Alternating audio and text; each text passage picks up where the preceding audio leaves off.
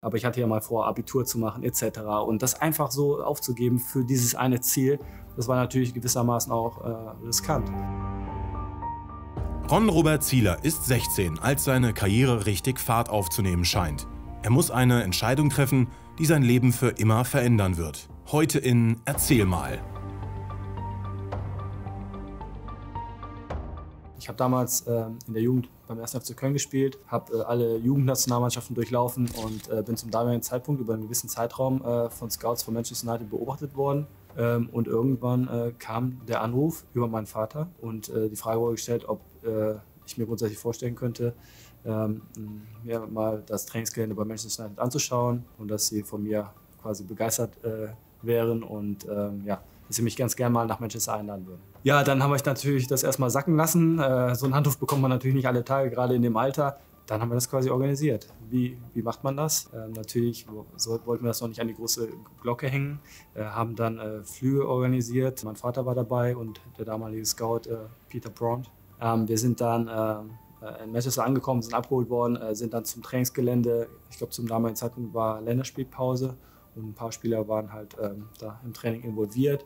Äh, unter anderem äh, komischerweise Rüd van Nistelrooy. Und ähm, ich habe das dann so beobachtet und das war natürlich mit, ich meine, mit 15, 16 äh, total beeindruckend, solche äh, Weltstars dann zu erleben. Nach dem Training, ich stand dann an der Bande, Training war vorbei und auf einmal sagt einer, hey, und schießt mir so einen Ball über die Bande.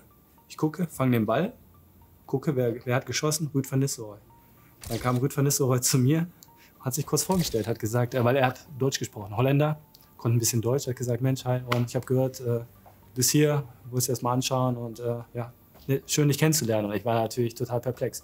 So, und ähm, ja, das war schon, schon ein äh, tolles Erlebnis. Die Verantwortlichen von Manchester waren auch äh, überzeugt äh, und haben, äh, ja, haben mir dann auch zeitnah mitgeteilt, dass, dass sie mich ganz gerne verpflichten wollen und ob ich mir das vorstellen kann. Der 16-jährige Ron Robert Zieler denkt sich in dem Moment natürlich nicht viel.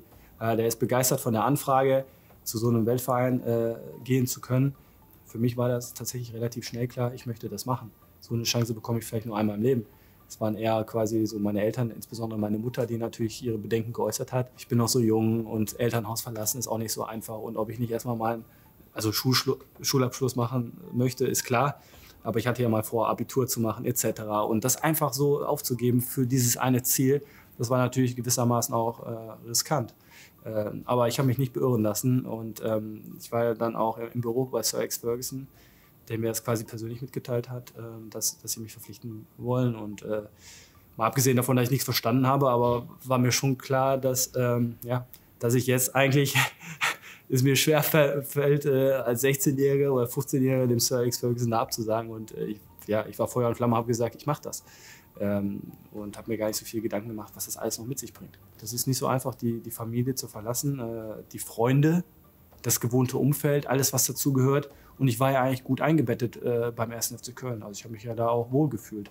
Aber das alles zu verlassen für, für ein großes Ziel, ähm, ja, das war, das war äh, nicht so einfach. Aber wie gesagt, äh, ich wollte das unbedingt machen.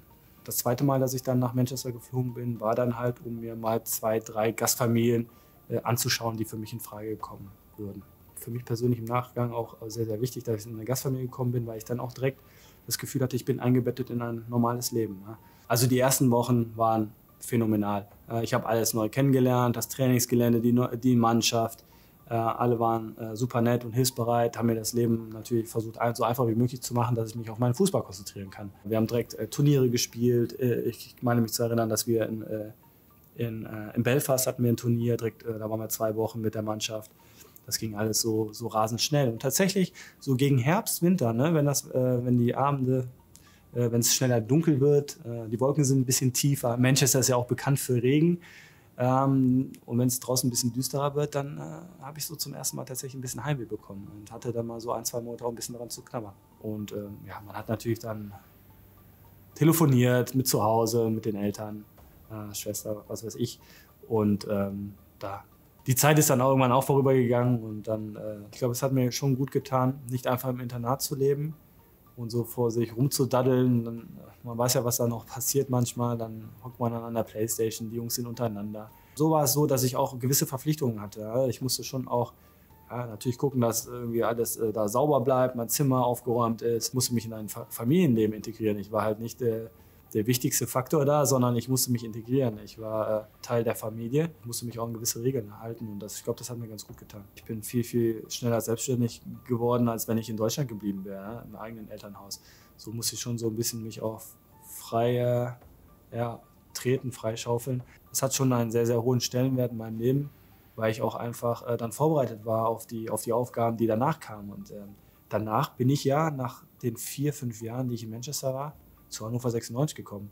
Und dann wissen wir ja alle, wie die Geschichte war, dass ich dann halt nach einem halben Jahr auch hier schon Stammtorhüter geworden bin. Ich glaube, das hat mir schon geholfen, diese, diese Erfahrung bei einem Weltverein wie Manchester United zu machen und dann einfach top vorbereitet gewesen zu sein auf das äh, Profileben danach. Und das habe ich eben auch meiner Zeit in, in Manchester zu verdanken, meiner Gastfamilie, dem Verein Manchester United, der dann doch für, für die Verhältnisse, dass es ein Weltverein ist, äh, relativ bodenständig war damals äh, und äh, ja, gut mit uns jungen Spielern auch umgegangen ist.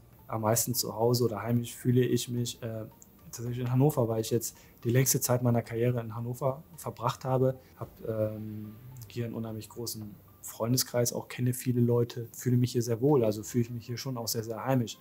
Es war natürlich auch irgendwo der Gedanke da, vielleicht nochmal nach Köln zurückzukehren damit habe ich mich natürlich auch beschäftigt.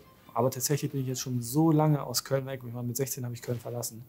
Ähm, ich liebe diese Stadt, keine Frage. Aber äh, es ist nicht so, dass ich da nochmal äh, unbedingt zurück muss.